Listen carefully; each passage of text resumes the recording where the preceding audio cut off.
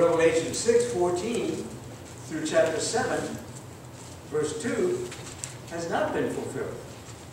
That's when the mountains have fallen the ocean, and people go and hide themselves as they see Jesus coming the second time. But the Bible says that cannot happen until God has a people that have allowed him to seal them for security and preservation. Peter also says something about who the Holy Spirit is given to in Acts five thirty-two, and it says, we are witnesses of these things, and so is also the Holy Spirit, whom God hath given to them that obey." And Ray has just re- read a very interesting word. What does the word obey mean in the Bible? In the Bible. Cherish. I heard something. Cherish. Listen attentively. Listen attentively. Said. Cherish, guard, protect, appreciate. Subordinate. That's what the word obey really means. Submit or subordinate what? Your will to God's will. It is obvious, good morning. It is obvious that the Galatian Christians had received the Holy Spirit because they could not have begun their Christian life without it.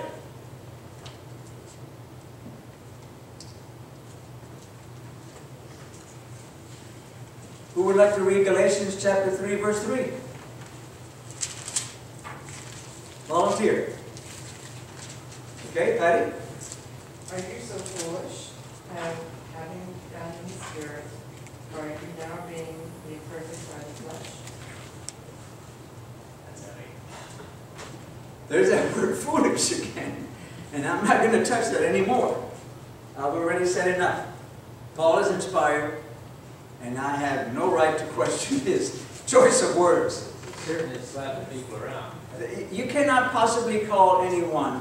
I mean, you know, look, it- look it up for yourself.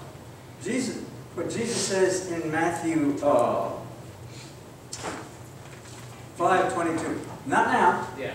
Look it up for yourself. There you go.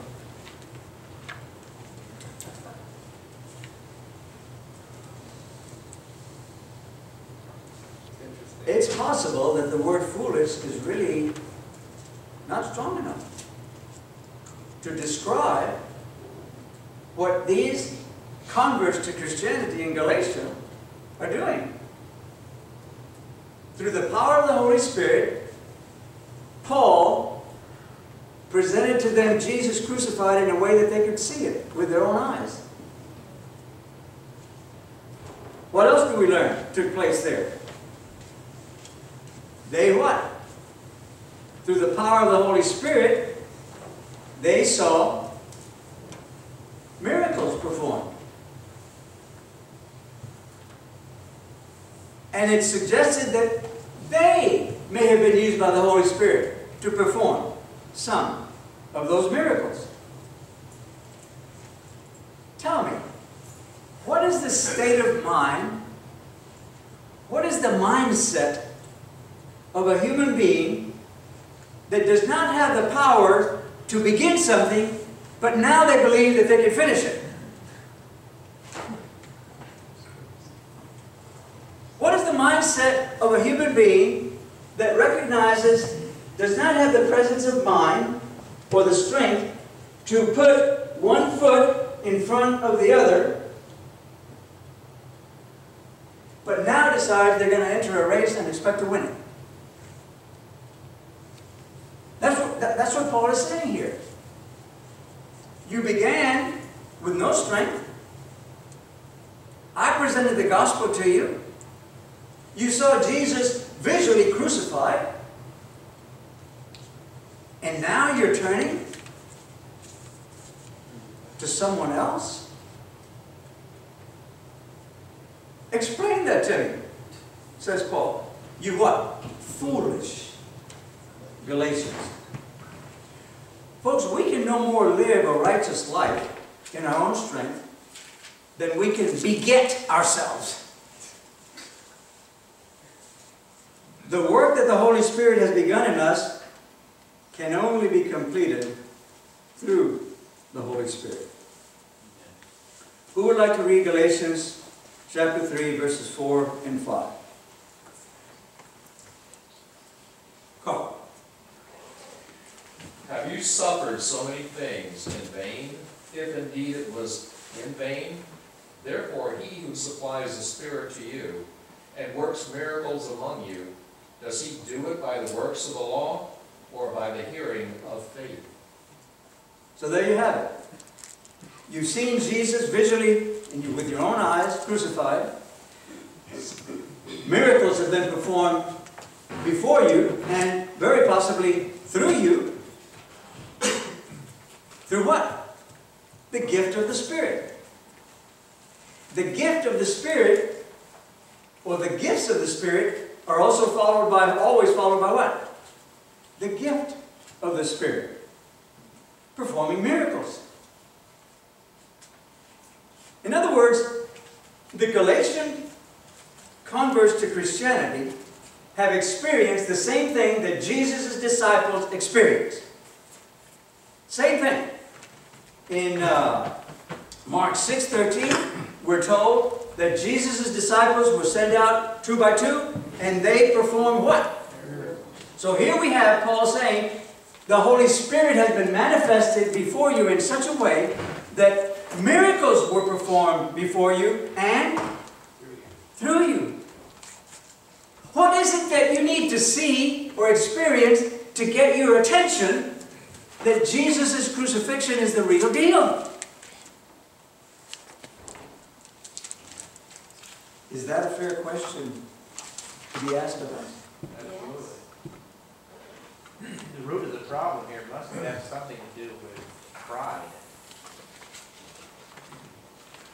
I believe that it's seeking the truth on a daily basis, because those who do not seek the truth will receive a delusion to believe any lie.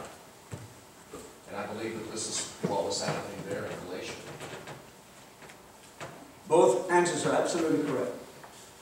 The, the issue is that the converts to Christianity in Galatia, their disobedience is a disobedience to the law of God, which they were looking for to salvation.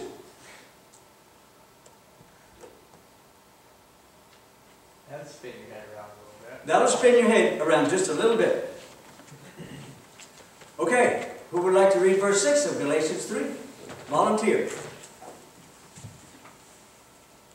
Volunteer. Over here. Just as Abraham believed God, and it was accounted to him for righteousness.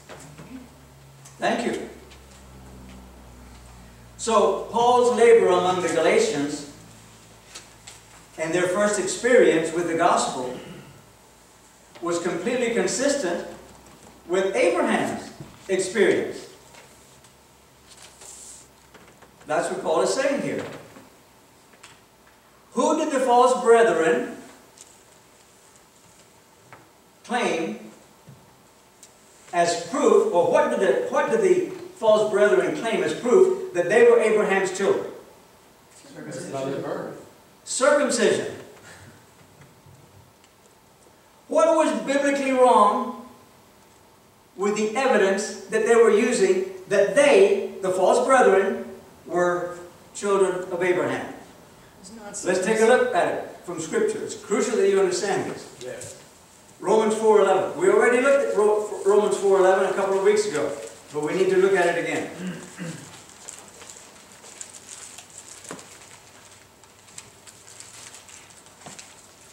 Volunteer to read Romans 4.11. Okay, Linda? And he received the sign of circumcision, a seal of the righteousness of faith, which he had while still circumcised, that he might be the father of all those who believe, though they are uncircumcised, that righteousness might be imputed to them also.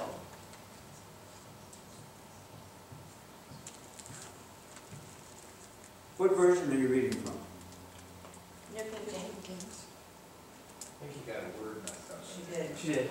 She used circumcised instead of uncircumcised. Yeah, that's what threw it all over. You want to read that again for us, please?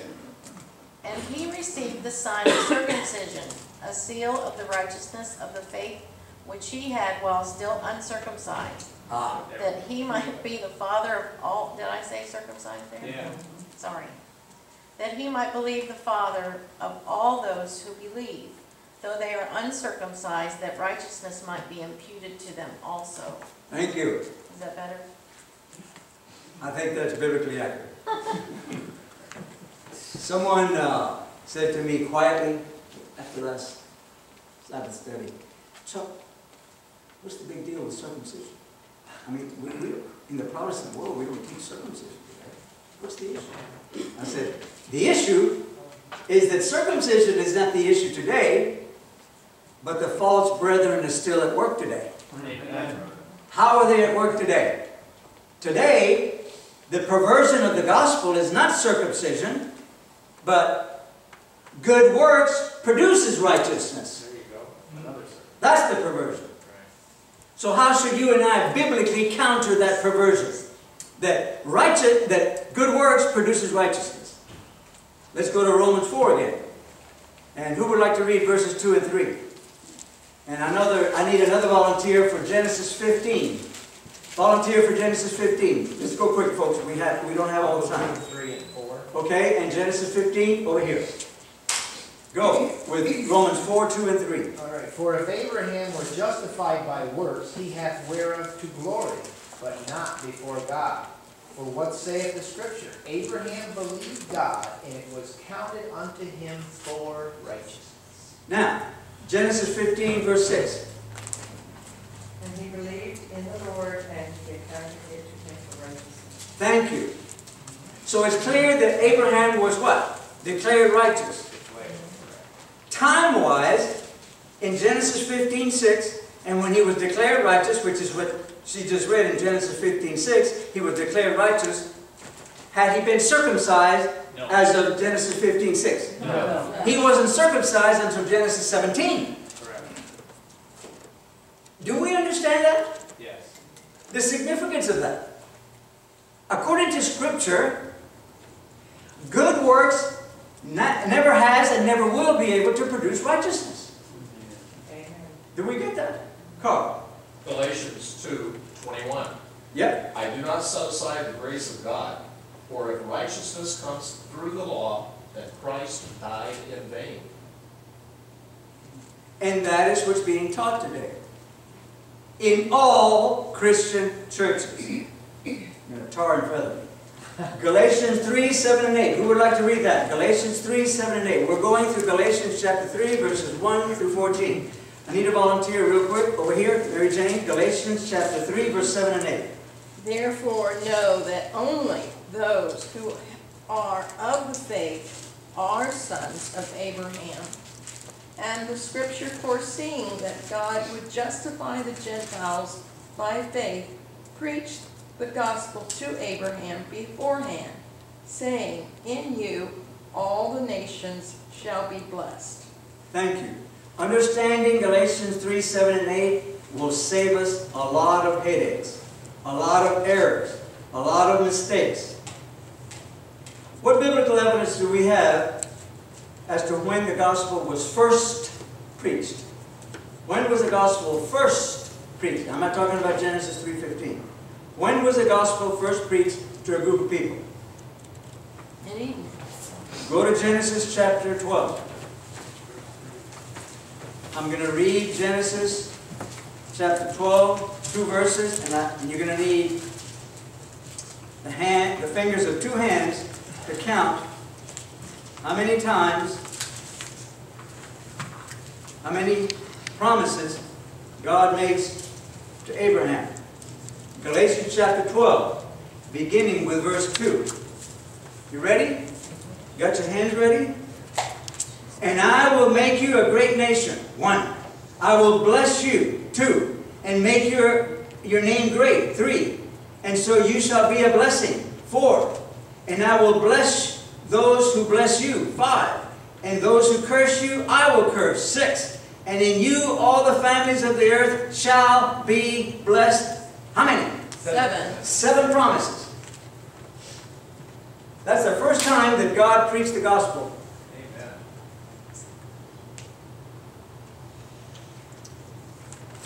Is God good on his promises?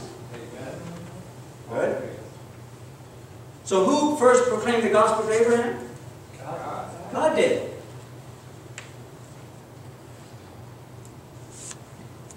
What should this mean to us? There's only one gospel, and that's God's gospel. What gospel did Paul preach to the Galatians? Same one. Same one. Same one that God preached to Abraham. We have no other gospel than the one that was preached to Abraham and that Paul preached to the Galatians. When God decided to have a first, his first evangelistic effort meeting to proclaim the gospel, what group of people did he choose to proclaim the gospel to?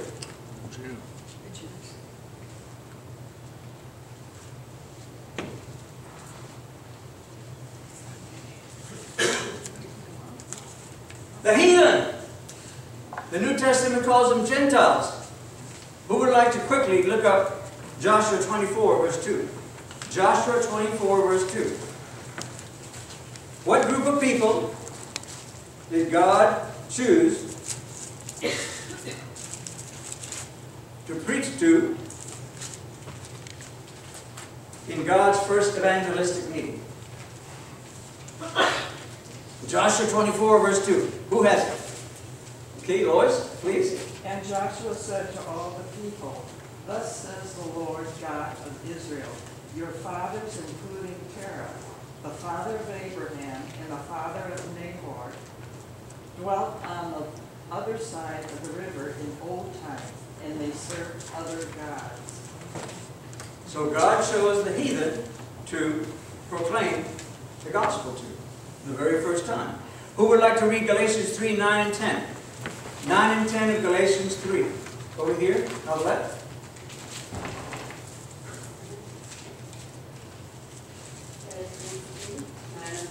Please. So then, those who are of faith are blessed with believing Abraham.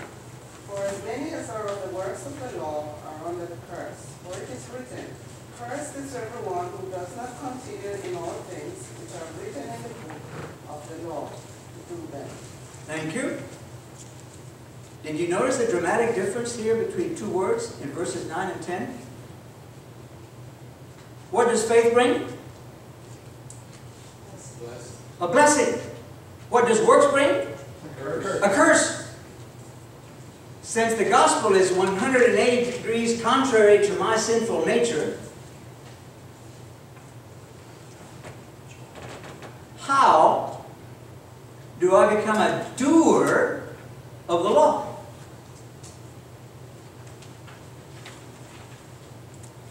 You're going to tar me for this by not doing it. My own God. Is that biblical? Amen. Volunteer for Romans 9, 30 through 33.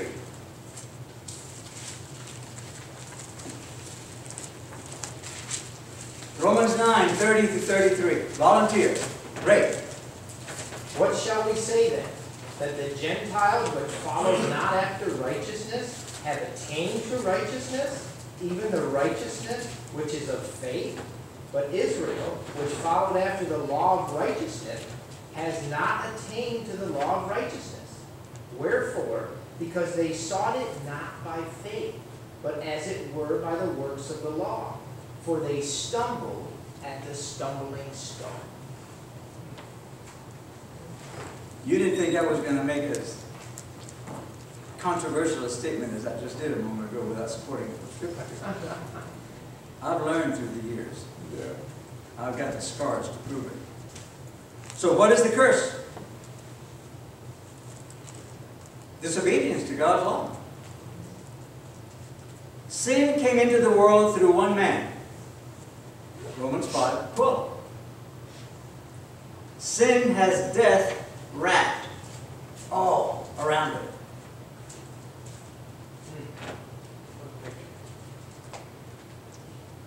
Without sin, there would be no death. Because the Bible says in 1 Corinthians 15, 56, what? The sting of death is what? sin. Why then are all who rely on works are under the curse? She just read it in verse 10. Because whoever does not abide by the works of the law, not by the works of the law, but keeping the Ten Commandments, is what? Cursed to do them. Now ah, we have a dilemma here. So relying on works of the law does not mean that we're doing the works of the law, does it? No. Good. What does Romans 8, 7 say? I quoted it to you last week. I quote it again. The carnal mind is enmity against God and not subject to the law of God. Wow!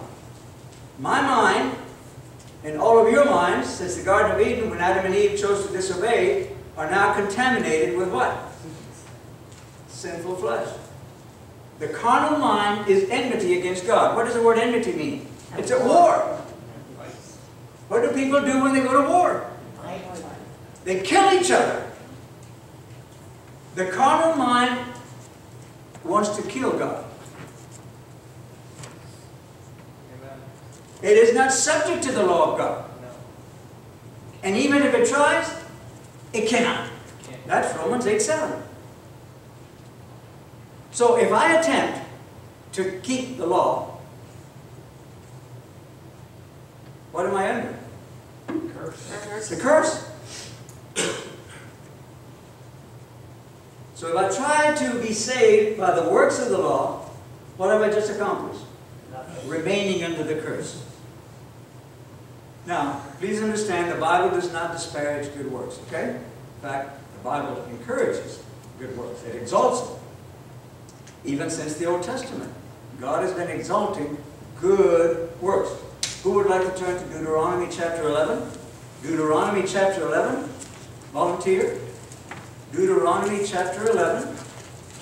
And read for us verses 26 through 28. Mary Jane? Behold, I set before you today a blessing and a curse.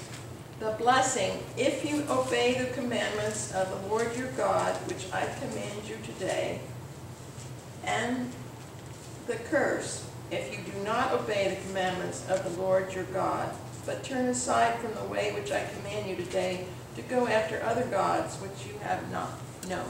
Thank you. Here's the word obey again. What does the word obey mean? This is chapter ten. It's crucial that we do not associate the definition in English of obey with doing something. The word obey, again, the New Testament Greek means upakoi, means submit, subordinate your what? Will. Will. Your will to God, which is what Jesus did when he was on this earth. Are we absolutely clear on that? Yes. Okay, so God is saying in the Old Testament, Behold, I put a what? A blessing and a curse. Okay. Now, I want to make sure that you recognize that God does not disparage good works. He encourages them. Who would like to turn to Ephesians chapter 2, verse 10? Everybody knows Ephesians 2, 8 and 9. For by grace are you saved through faith and not of yourselves, as a gift of God. Not of works, as any man should. Very good. But we're dealing with here, what does God, why did God create us? Ephesians 2 verse 10. Who would like to read that for us? Over here, Tom. For we are his workmanship created in Christ Jesus for good works which God prepared beforehand that we should walk in them. So from the very beginning after Adam and Eve sinned, Jesus stood up and said, okay, in Revelation 13, 8, I presented myself as an offering in the event that sin would come into the world. That instant, what happened? God began planning for each one of us to what?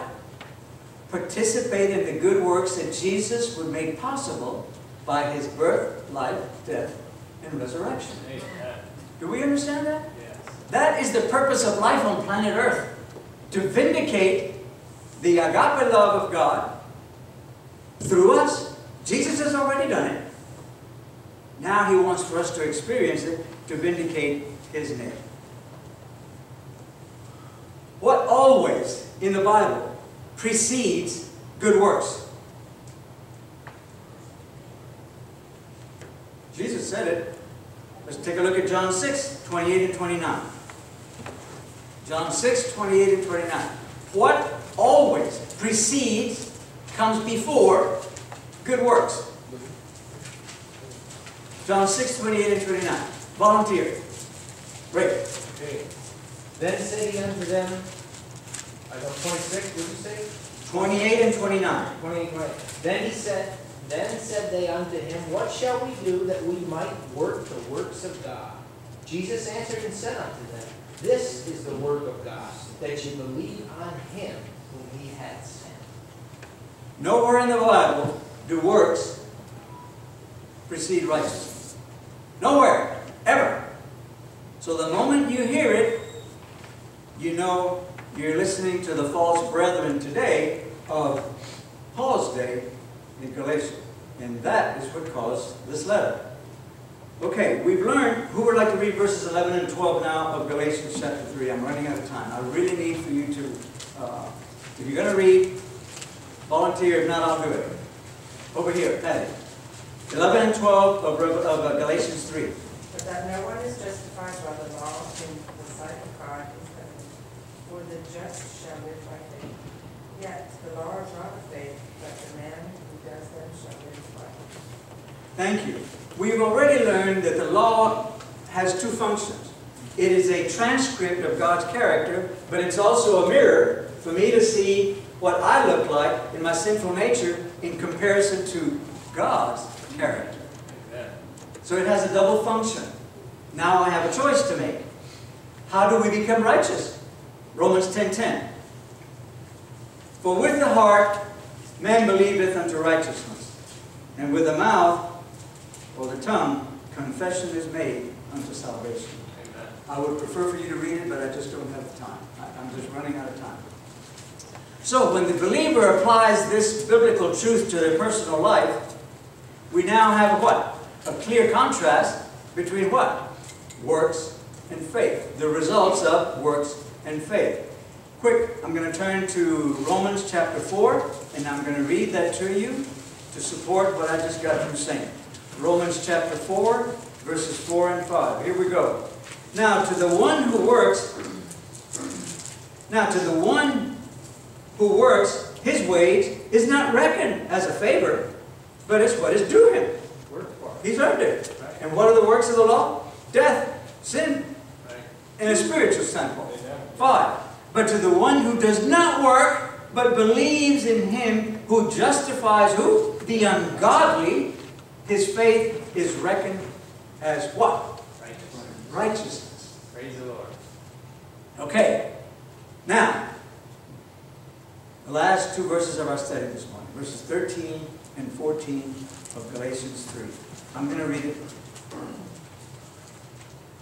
Christ redeemed us from the curse of the law, having become a curse for us. For it is written, Cursed is everyone who hangs on a tree. 14. In order that in Christ Jesus the blessing of Abraham might come to the Gentiles, so that we might receive the promise of the Spirit through faith.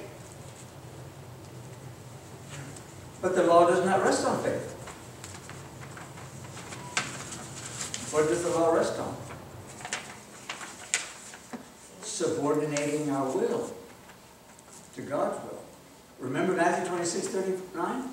For 4,000 years, in fact, up in heaven, Revelation 13, 8, when Adam and Eve sinned, Jesus stepped up and said, I am the propitiation. I'm the sacrifice. Because our law says, without the shedding of blood, there's what? No remission. no remission of sin. So he stood up. Now, 4,000 years later, he comes to this earth. He lives for approximately 33 and a half years here. He raises people from the dead. He feeds thousands. Heals the blind. Raises the dead. And now, in the Garden of Gethsemane, in Matthew 26, 39, he says, Father, if there's any way that you can get me out of this, please do it. What's happening here? His will is trying to take over. The nature that he took on, in order to ethically and legally save me, is now kicking in. The last. But that's not the end of the prayer, is it? No. Nevertheless, not my will, but God. that's obedient, subordinate, submitted your will to God. Beautiful concept. And that's what makes us righteous. Submitting the will to God. Our faith is counted as righteousness. Our faith in who? Jesus'.